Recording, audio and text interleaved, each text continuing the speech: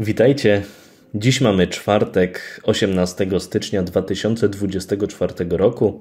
Jest zima, więc w wielu miejscach, w których właśnie przebywamy, jest zapewne dużo śniegu. Jeśli jesteście kierowcami, to z pewnością w ostatnim czasie musieliście zmagać się z oblodzonymi drogami. To z własnego doświadczenia mówię, jest często niesamowicie trudne wyzwanie. I właśnie takie warunki wymagają od nas szczególnego skupienia się na prowadzeniu naszych pojazdów. Bo chwila nieuwagi, chwila rozkojarzenia i w momencie możemy mieć problemy. Zresztą nie tylko zimą chwilowa utrata skupienia może doprowadzić do tragedii na drodze. A w kontekście skupiania się na takiej jednej rzeczy, szczególnie wybrzmiewają te nasze dzisiejsze teksty, które znajdujemy w codzienniku biblijnym z Biblią na co dzień. Teksty biblijne. Pierwszy pochodzi z pierwszej księgi królewskiej, gdzie czytamy, że Eliasz przystąpił do całego ludu i rzekł: Jak długo będziecie kuleć na dwie strony?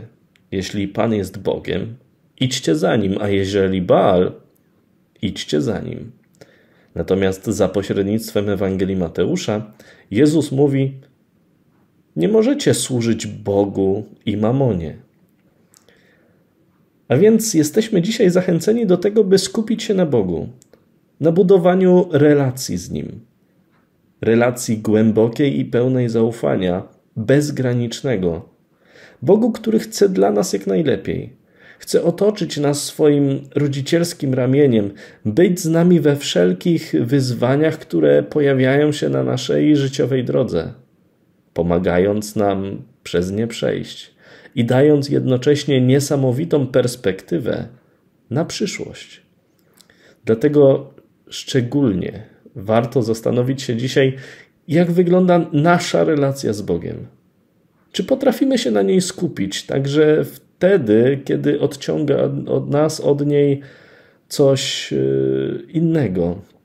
I to może być zadanie na nasz dzisiejszy dzień. By te słowa pieśni Franceska Crosbiego, które wraz z tekstami biblijnymi mają nas dzisiaj nastrajać na ten czwartek, były autentycznym świadectwem i doświadczeniem każdego dnia. Pozwólcie, że te słowa jeszcze teraz na koniec przytoczę. Ciebie tylko, Jezu drogi, chcę uznawać Panem swym, że drogami przebłogimi mnie prowadzisz, dobrze wiem. Tylko Ty jesteś mi wiernym. Zbawco, tylko Ty. Amen. Pięknego dnia i pysznej kawusi.